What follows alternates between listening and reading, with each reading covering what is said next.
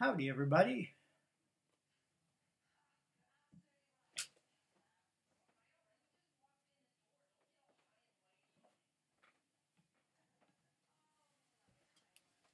It is not completely dry yet, so I'm only going to hold it up for just a second or two.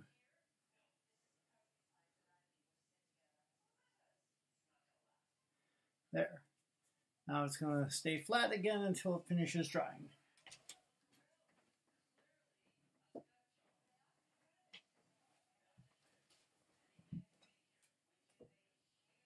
I also did a tiny marker drawing the other day that I forgot to make a video for, so that's the tiny marker drawing.